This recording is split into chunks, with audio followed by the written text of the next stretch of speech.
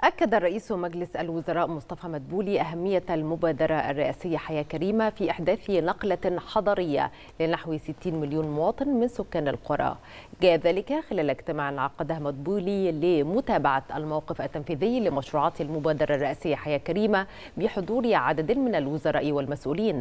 وخلال الاجتماع تمت الإشارة إلى أنه بداية من شهر مارس الماضي.